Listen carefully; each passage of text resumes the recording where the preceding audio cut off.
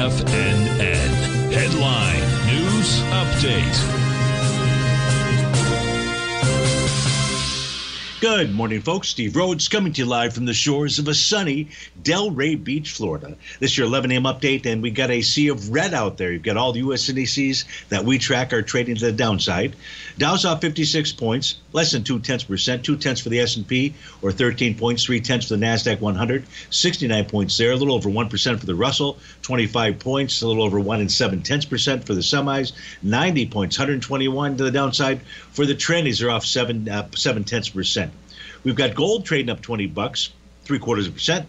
Silver's up 1%, 29 pennies, trading out of 29.59. Light sweet crude is off 14 cents. Natural gas back 3 pennies. 30 year treasury up 20 ticks, print out 124.26. Let's figure out what all that means by looking at that nine panel market update chart.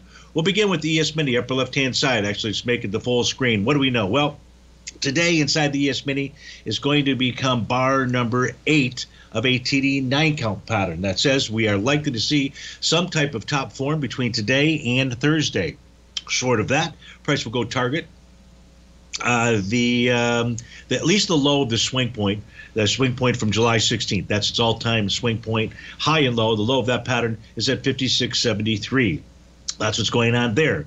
We have the spot volatility, which is trading a bit higher today, but still below that 50-day exponential moving average that provides a uh, the wind at the sails of the backs of the uh, buyers out there. But uh, we're just trading inside of yesterday's bar, so nothing really clear here. But typically that suggests that we see a further move lower out there. If we do get uh, tomorrow, let's say we get a uh, push below yesterday's low at 1446, that will trigger a TD9 count pattern as well. If we take a look at the NQ it closed above. It's been trading above the top of its profiles. Its next price target is 0.786 retracement level. That's up at 2206. Today is going to form bar number eight of a TD9 count. Top could come between today and Thursday. U.S. dollar index is trading an A to B equals CD pattern to the downside. It's at the 1.272 expansion level of that C to D leg. Next price target down at the one uh, 100 0.58 level out there. A bullish reversal candle would confirm a Gartley buy pattern. Gold has an A to B equals CD pattern, a small one that could take us up towards the 25.85 level, but we have to be careful with gold. It's also got TD9 count pattern that will take. Uh, well, we'll we'll take a look at that during the show. Silver no topping signal. Trade above the top of its profile, maybe trading up towards its descending trend line. That would be in the $31 area. Light sweet crude consolidating with inside its profile. Support down at 71.56.